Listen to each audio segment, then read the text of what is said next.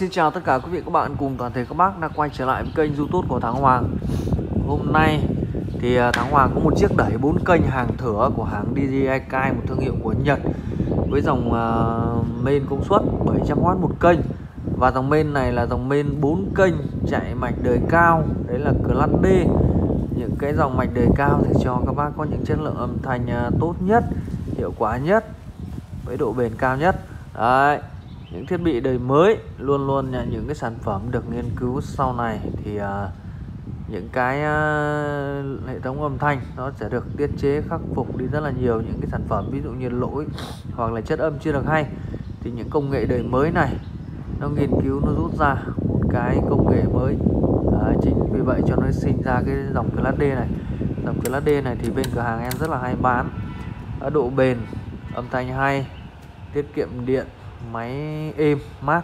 Đấy. Mặt trước phay nhôm rất là đẹp các bác nhé hàng chính hãng hãng nó bán ra là nó luôn luôn nó dán cho mình cái tem này. Đấy, nó có cái tem này. Mã vạch và series của sản phẩm luôn. Đấy. Phải nói là đẹp đẹp xuất sắc luôn. Đấy. Đây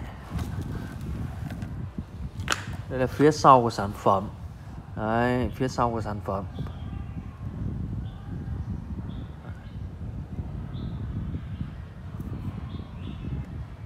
Đấy, nó bốn kênh.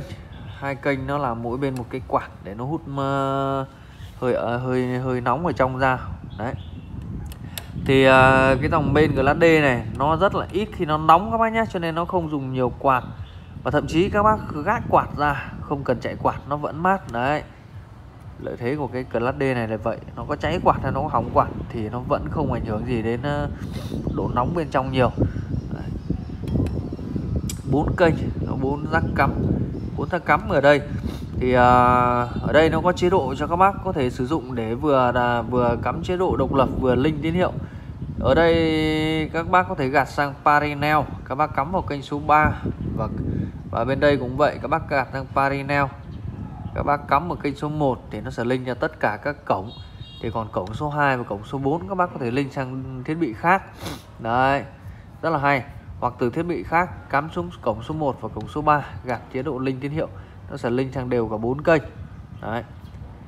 Ở dưới đây nó sử dụng bằng uh, chạm vặn loa bằng uh, rắc lưu trích thì các bác mua thì em sẽ tặng uh, kèm rắc lưu trích cũng như rắc canon cắm tín hiệu đây.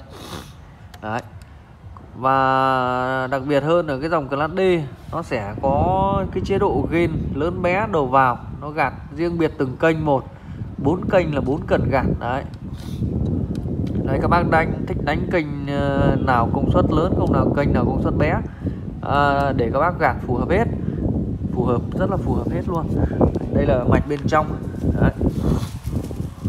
mạch Class D rất là đẹp. Nói là rất là đẹp. Máy này thì các bác chạy độ bền rất là cao.